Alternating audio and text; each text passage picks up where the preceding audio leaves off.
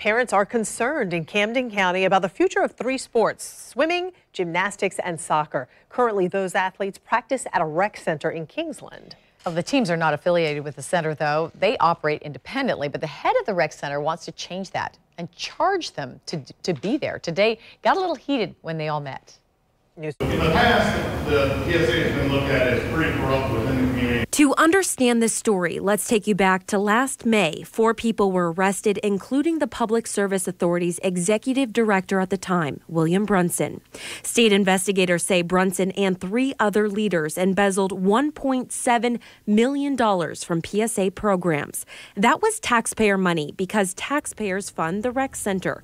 Brunson has since been replaced by Joey Kaysen, who is now taking questions from parents. You're saying I'm corrupt. I did not say you're corrupt, sir. I did not say you're corrupt. You said that. You're not, I changed my words. Hold on. I said corruption within the PSA. The Public Service Authority, or PSA, controls the rec center. Because of that, some parents are worried and want to continue operating independently in terms of finances and leadership, and only want to use the rec center space to practice. It's concerning because what it shows is that, again, it's really not about the children. It really is about the money. The center's current executive director, Joey Kaysen, took over in March. He says the board directed him to review these three sports to make sure they are paying to use the facilities and for maintenance. I hope that the rec center, that Mr. Kaysen he's able to realize that people just want answers that are the same across the board. Kaysen says the rec center is not getting rid of the sports, and he met with the soccer board, the gymnastics team owner, and the leaders of the swim teams to make negotiations.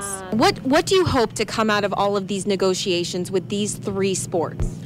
As far as I'm uh, concerned, Brittany, our anticipation is all three of these sports will continue and hopefully have an opportunity to excel. Both sides say they'll meet again in the future about all of this. In the meantime, the Georgia Bureau of Investigations is still looking into this embezzlement case to see if any more money was stolen over the years.